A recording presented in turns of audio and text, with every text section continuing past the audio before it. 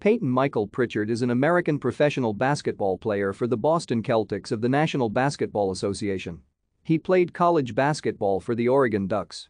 As a sophomore, he was named second-team All-Conference in the Pac-12. As a senior, he was a finalist for the Naismith Trophy. Pritchard won four consecutive state titles with West Linn High School and earned 2014 and 2015 Todd Pratt Player of the Year Oregon Class 6A Player of the Year and 2015 Gatorade Oregon Player of the Year. He averaged 22 points and 5.8 assists per game as a junior and 23.6 points, 6.8 assists, and 3.1 steals as a senior. A four-star recruit in the ESPN ranking, he committed to the University of Oregon Ducks in August 2015. He had previously committed to Oklahoma, where his father Terry played football. In his greatest game in high school, Pritchard torched Washington for 45 points in the Northwest Shootout, an all-star game between Oregon and Washington.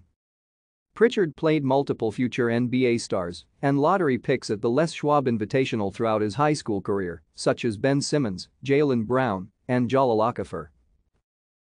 Thank you for watching. Like and subscribe if you would like to view more of our videos. Have a nice day.